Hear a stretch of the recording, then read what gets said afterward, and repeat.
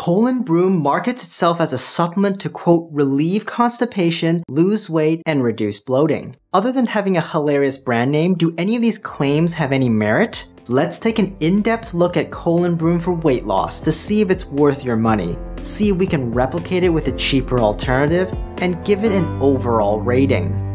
The only active ingredient in colon broom is powdered psyllium husk, a commonly used soluble fiber supplement, like many other soluble fibers, the primary way it helps with weight loss is by suppressing your appetite and creating bulk in the stomach when mixed with liquid, by filling your stomach up without significantly adding more calories to your diet. Now, when we look at soluble fibers, the bulkier and thicker a soluble fiber is when mixed with water, the more effective it would hypothetically be at suppressing appetite, since thick, viscous liquids delay gastric emptying and essentially make it more difficult for you to eat too quickly and too much. However, the downside to bulkier and thicker soluble fibers is that it tends to cause more gastrointestinal side effects like becoming constipated, especially if you don't drink enough water with it. So, how does Colon Broom's powdered psyllium husk compare to other soluble fibers? Well, psyllium husk is a pretty bulky soluble fiber and can hold up to 10 times its weight in water.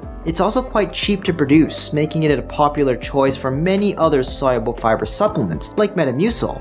Metamucil's active ingredient is also powdered psyllium husk, however it's been slightly refined in a way that allows it to become dissolved almost completely in the water. Colon Broom and many other psyllium husk powders are not as refined and contain more insoluble components in the powder, which often show up as small brown or white specks when mixed with water there's no significant difference in the bulking effects between them all, meaning Metamucil, Colon Broom, or any generic psyllium husk powders will likely be very similar in terms of their effects on weight and constipation, as long as you use similar doses. However, Metamucil often uses artificial sweeteners like aspartame and artificial colorings, while Colon Broom uses stevia for sweetening and vegetable juices for coloring. So if you aren't a fan of artificial colors or sweetening, Colon Broom or just getting a generic psyllium husk powder might have the upper hand here. But Metamucil also sells a version with no sweeteners and natural coloring, so you'll have to check the ingredients of the specific version of Metamucil you're getting.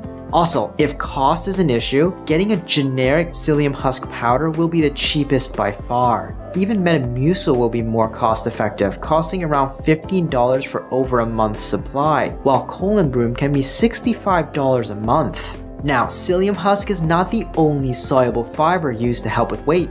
Two other popular soluble fiber drinks include chia seeds and glucomannan, which is often sold under the trade name PGX. While Colon Broom's powdered psyllium husk can hold up to 10 times its weight in water, chia seeds can hold up to 15 times, and glucomannan can hold up to 50 times. Glucomannan has a relatively high proportion of soluble fiber per weight, meaning that when it's dissolved in liquid, it tends to be thicker and hold more water than other soluble fibers. This property makes glucomannan an ideal soluble fiber to create this appetite suppressing bulkiness in the stomach. It shouldn't then come as a surprise that glucomannan tends to be more effective than psyllium husk in suppressing appetite and supporting weight loss. At the same time, the excessive thickness makes glucomannan cause more gastrointestinal side effects than the other soluble fibers, making it less suitable for dealing with constipation.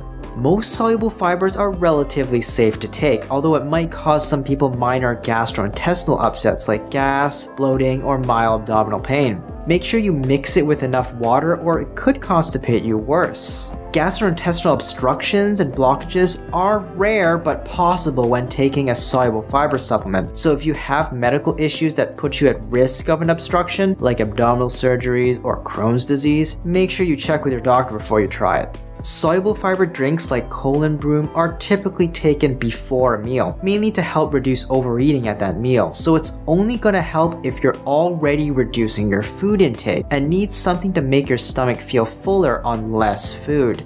It's not going to help much if you're not controlling your diet already, tend to snack too often, or tend to stress and binge eat. Even if it does help, don't expect miracles. Up-to-date research on soluble fibers suggests it can help with improving cholesterol or blood sugar levels, things that are related to obesity, but don't really show any significant weight differences. This means that soluble fiber drinks are mostly supportive of weight loss, but likely don't cause any weight loss themselves. Again, this should drive home the point that you need to be managing your diet already for soluble fibers to help.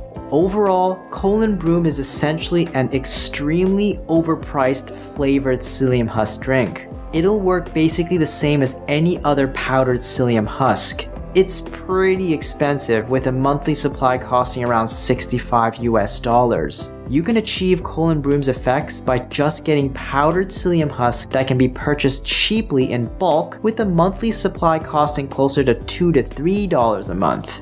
You could then flavor it yourself with whatever you wanted. Crystal Light, True Lemon or True Lime if you don't want any artificial flavorings, mix it with any juices or smoothies you make, or just infuse it with real fruits. Rating Colon Broom by effectiveness for weight loss, I'm giving it a C. It basically works to manage hunger, and taking it without already reducing your food intake is not likely going to have any effects on your weight whatsoever. Rating it by cost, I'm giving it an F. A monthly cost of $65 for flavored psyllium husk is way too expensive, especially since you can get psyllium husk powder in bulk at 20 to 30 times less. Rating it for safety, I'm giving it a B. Psyllium husk at the doses that Colon Broom provides is relatively safe to use, provided you have it with enough water. Overall rating, I'm giving a D. I would not recommend it at all. Hi, I'm Dr. Brian Yeung. Do you think it's worth it? Let me know in the comments down below, and if you found this video helpful, please subscribe to the channel and leave me a like. Hit the notification bell if you want to stay up to date, and share this video with someone you know can use the info.